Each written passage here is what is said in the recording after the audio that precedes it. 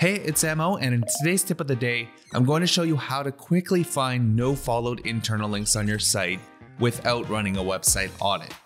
Now, the reason why you might want to find these links is because generally speaking, there isn't really a good reason to no follow internal links, yet it happens all the time. In fact, Google recommends using robots.txt if you don't want them to follow a link. So to get started, enter your domain in Site Explorer. I'll go with nerdwallet.com. Next, go to the Best By Links report. Now, by default, this report shows you the most powerful pages on your site based on external backlinks. But we actually have a tab in this report that will show you internal linking data. And when you click it, you'll see that this section of the report changes to reflect internal links on your site. Now, all you have to do is click the no follow header in the table and it'll sort the report by URLs on your site that have the most internal no-follow links.